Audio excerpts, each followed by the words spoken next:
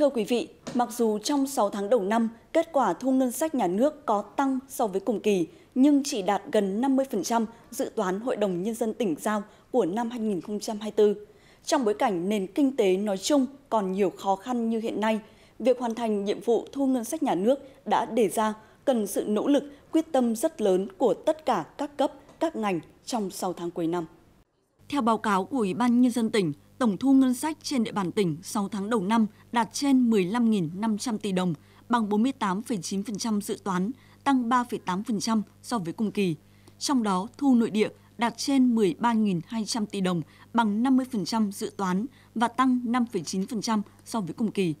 Kết quả này mặc dù có tăng so với cùng kỳ nhưng chưa đạt được như kỳ vọng.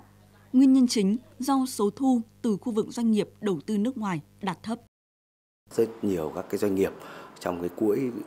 chuỗi cung ứng toàn cầu uh, có chịu tác động của những cái khó khăn thách thức của nền kinh tế thế giới. Cho nên là các cái hoạt động sản xuất kinh doanh trong 6 tháng đầu năm thì cũng có những cái khó khăn ở những việc tiêu thụ các sản phẩm thì có chậm uh, thiếu các cái đơn hàng uh, nhất là đối với ngành sản xuất lắp ráp ô tô và ngành sản xuất vật liệu xây dựng. Cái yếu tố thứ hai đó là cái việc thực hiện một số các cái chính sách miễn giảm giãn thuế rồi là phí và tiền thuế đất trong năm 2024 thì cũng tác động giảm thu ngân sách nhà nước. Theo dự báo, hoạt động sản xuất kinh doanh của nhiều doanh nghiệp trong 6 tháng cuối năm vẫn còn khó khăn. Sức tiêu thụ các sản phẩm công nghiệp chủ lực của tỉnh như ô tô, xe máy còn thấp sẽ tiếp tục tác động rất lớn đến kết quả thu ngân sách nói chung.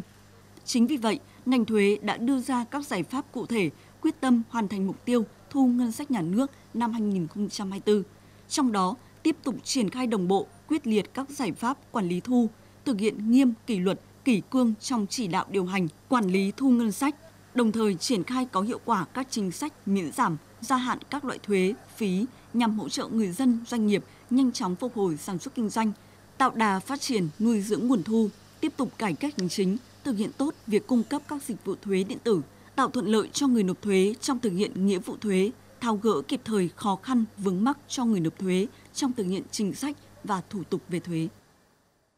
Chúng tôi tập trung khai thác các cái nguồn thu, chống thất thu ngân sách nhà nước, ờ, giả soát lại các cái dư địa thu và thực hiện tốt cái công tác thanh tra kiểm tra, công tác chống thất thu thuế, nợ động thuế, cơ chế thu hồi nợ thuế và quản lý thuế đối với hộ cá nhân kinh doanh. Nhiệm vụ trong những tháng cuối năm là hết sức khó khăn, song với truyền thống vượt khó cùng sự nỗ lực quyết tâm của toàn ngành thuế, Vĩnh Phúc quyết tâm hoàn thành và vượt chỉ tiêu thu ngân sách nhà nước được Hội đồng Nhân dân tỉnh giao năm 2024.